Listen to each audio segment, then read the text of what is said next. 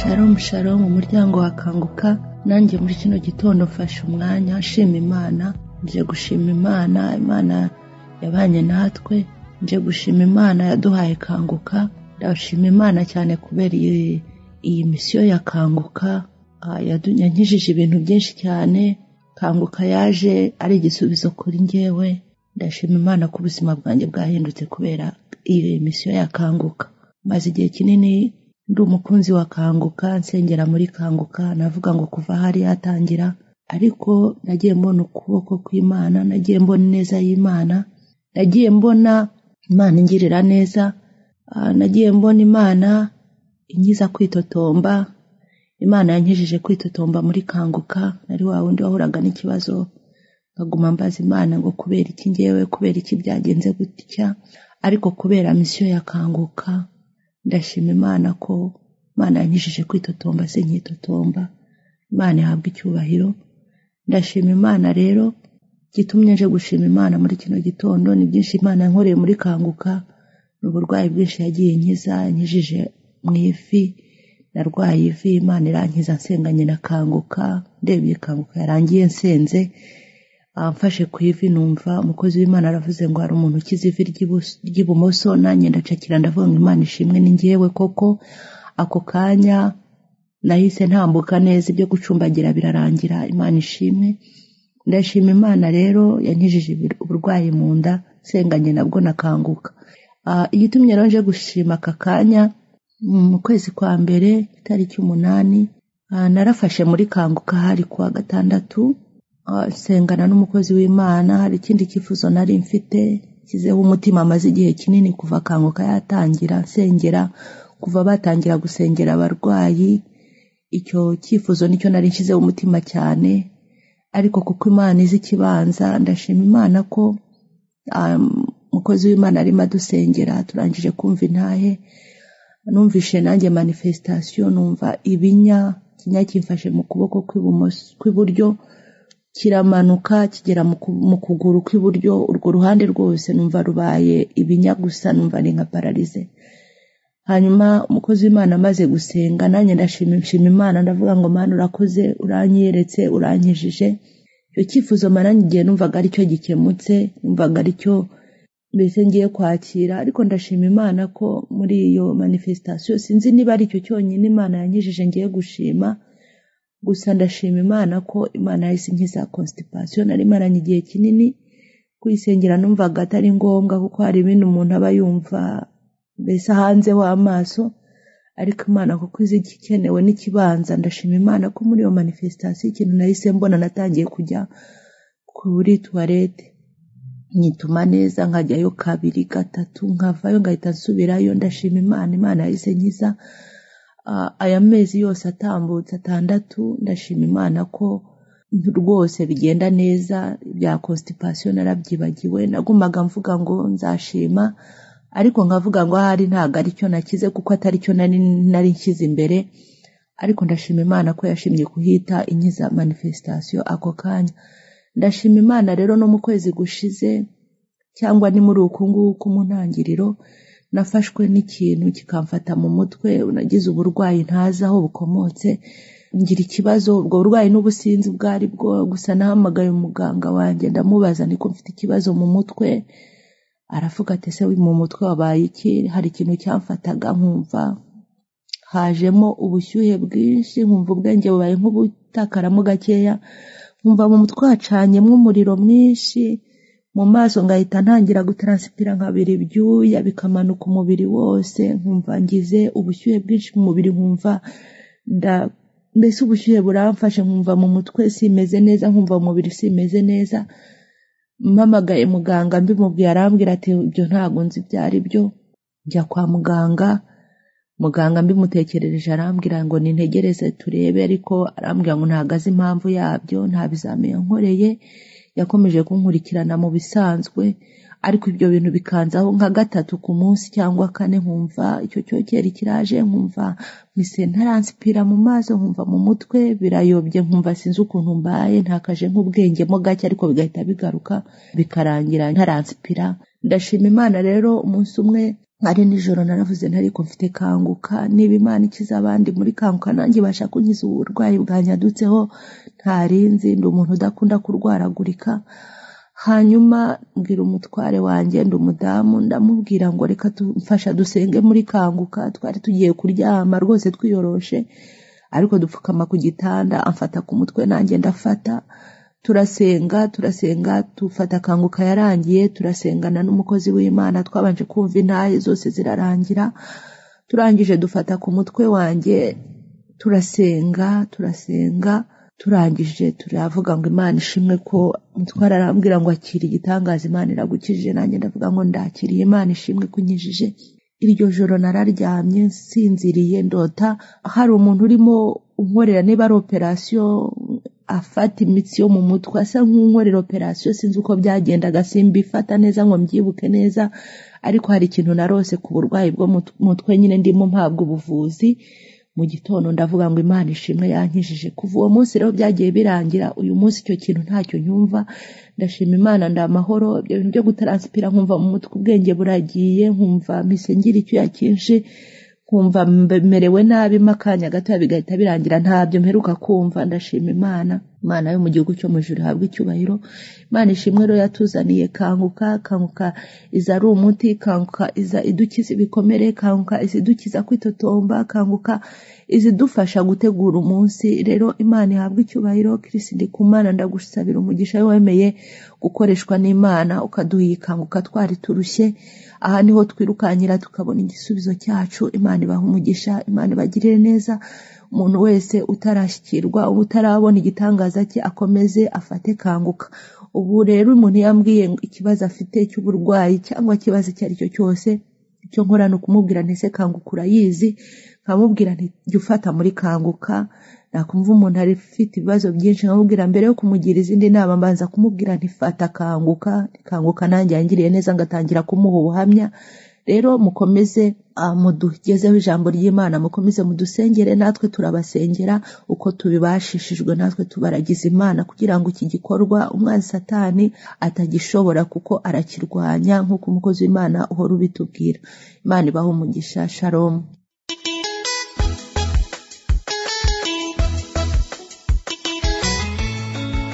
shalom shalom bene data nanjye ndi bumviriza ikiganiro kanguka mu gikurikirana rero iki gitondo nari ngiye gushinga intahe ibitangaza imana yankoreye.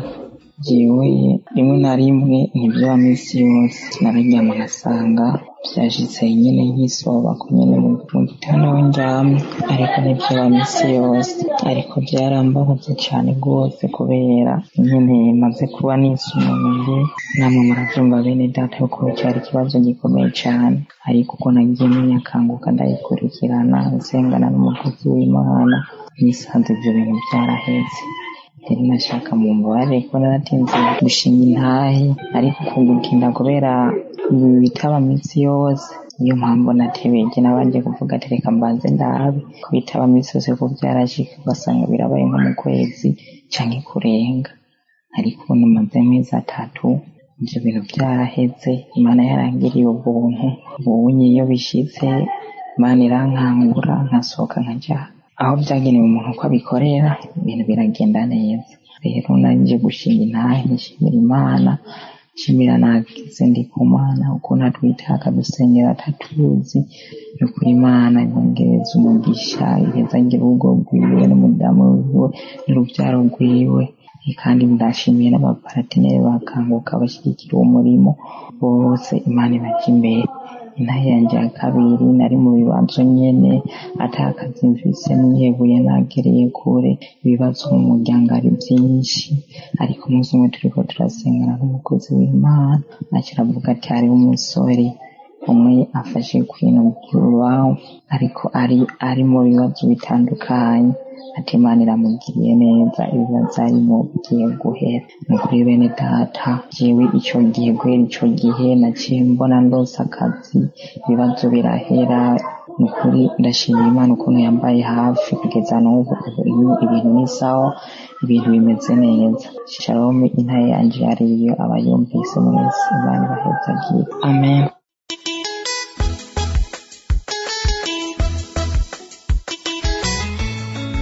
Yesu nashimwe bene data nashimwe cyane kanguka yaje nk'inyishu kuri jewe. Jewe narigeze kuba ngwaye mfise tansiyo nininya cyane nari kuri venti duze hanyuma n'umwana ari mfise yonka yari amaze amezi icenda.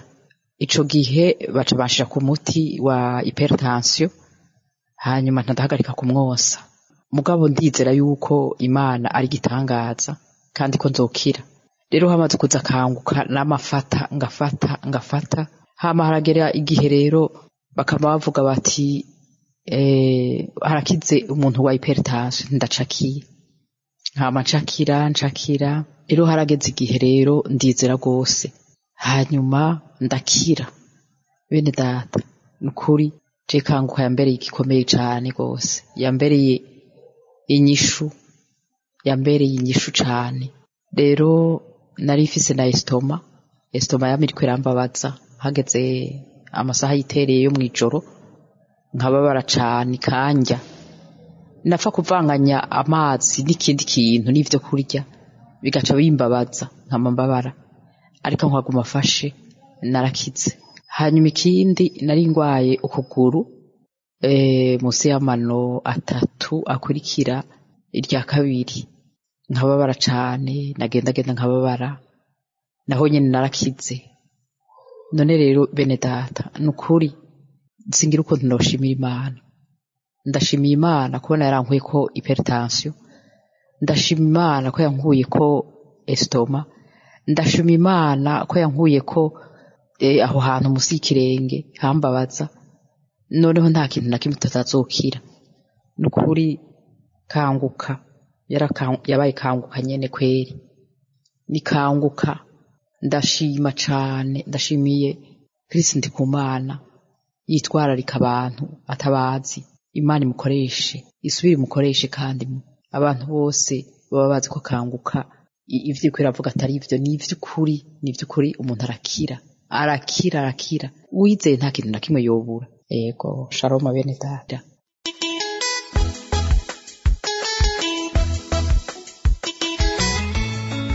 Shalom shalom.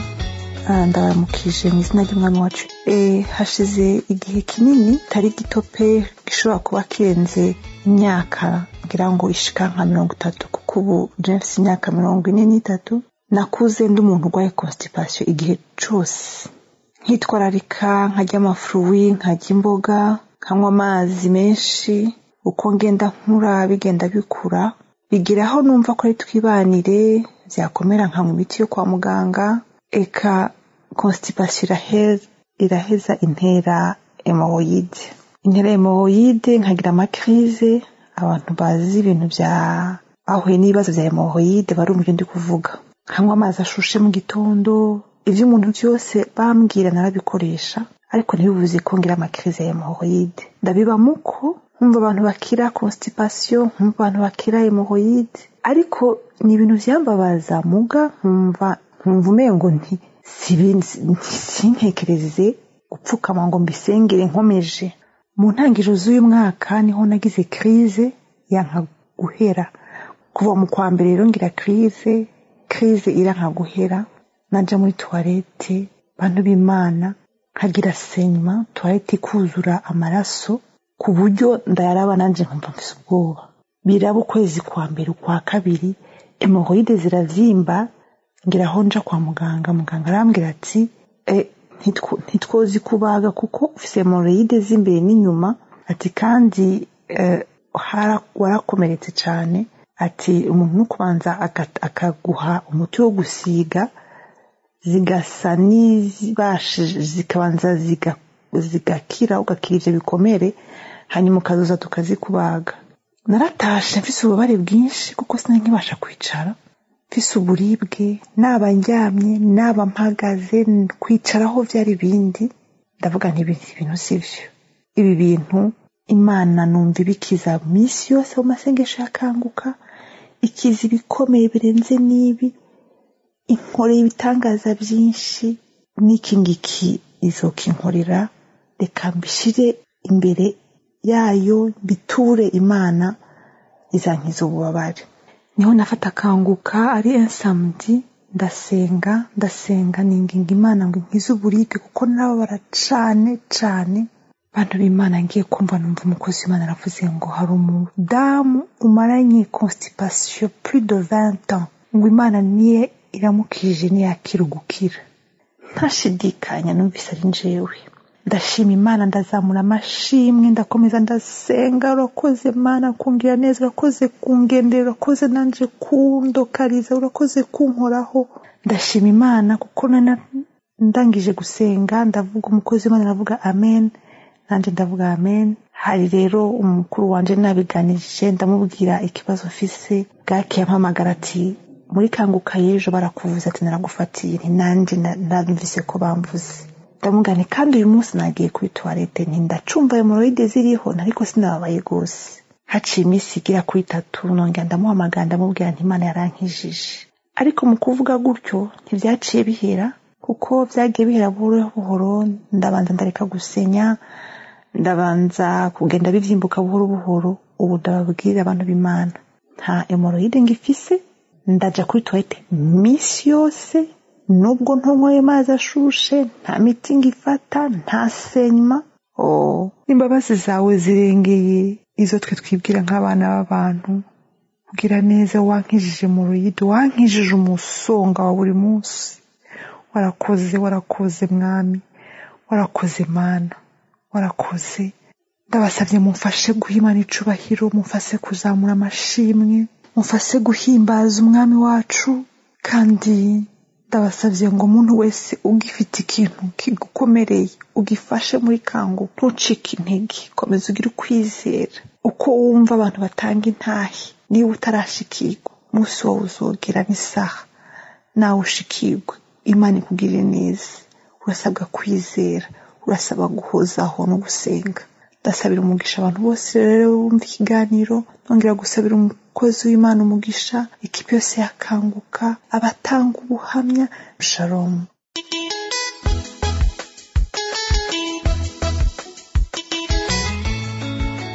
nashimye abo muri kanguka nanjye nagomba gushima imana ku byo imana yarayinkoreye yego nanjye nari ndwaye sitoma.